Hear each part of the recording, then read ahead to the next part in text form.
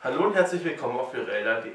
Wir schauen uns nun weitere Abiturübungsaufgaben an. Nämlich dieses Mal geht es um sogenannte Funktionsverständnis, das heißt Eigenschaften von Funktionen und daraus äh, Möglichkeiten ablesen. Und zum Beispiel haben wir jetzt hier eine Funktion f von x gleich 2 durch x plus 2 und die Aufgabe wäre, wir haben einen Punkt 1 und v, der liegt auf jeden Fall auf der Funktion und wir wollen herausfinden, ja, wie ist gerade die Tangente wenn ich jetzt die Tangente an die Funktion anlege, gerade an Punkt 1 und v.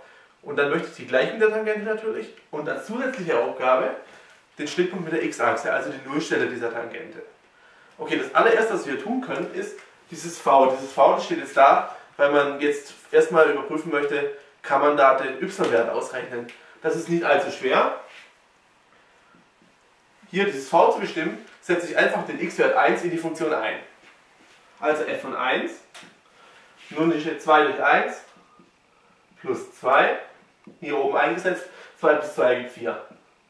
Das heißt, unser Punkt P ist 1 und 4.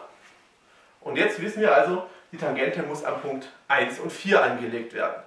Nun, die Tangente einer Funktion hat ja genau die gleiche Steigung an diesem Punkt wie die Funktion selbst.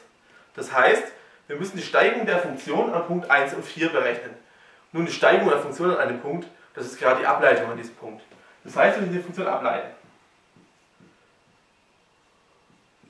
Also f' von x, die Ableitung, wir wissen f von x, können wir auch schreiben statt 2 durch x als 2x hoch minus 1, dass wir die Ableitungsregel anwenden können, plus 2. Und das ist jetzt viel einfacher abzuleiten. 2x hoch minus 1, die minus 1 kommt nach vorne, das heißt, es steht dann da, minus 1 mal 2, das ist minus 2. Und hier oben wird es um 1 reduziert, also minus 1, 1 weniger ist minus 2. Also 2x hoch minus 2. Und plus 2, die 2 abgeleitet fällt weg, die können wir also weglassen. Wir können es wieder umschreiben hier, minus 2 durch x Quadrat. Weil der x hoch minus 2 ineinander geschaltet x Quadrat ergibt. Okay, und jetzt haben wir also unsere Ableitung. Und wir wollen wissen, was ist gerade die Ableitung an der Stelle 1. Das heißt, ich bestimme die Ableitung an der Stelle 1, indem ich hier 1 einsetze, minus 2 durch 1 ins Quadrat und das ist minus 2. Da ich hier gerade gesagt habe, die Steigung der Tangente ist gerade die Ableitung der Funktion in diesem Punkt, können wir schreiben hier, minus 2 ist gerade Steigung der Tangente, also mt. Und allgemein wollen wir die Tangentengleichung y gleich mx plus b Jetzt haben wir also schon m rausgefunden, oder mt. Es fehlt also nur b. Ja, wenn ich jetzt nur eine einzige Variable habe, die fehlt, kann ich jetzt y und das x einsetzen, das ich hier aus dem Punkt 1 und 4 habe. Das heißt, y wäre 4 und x wäre 1.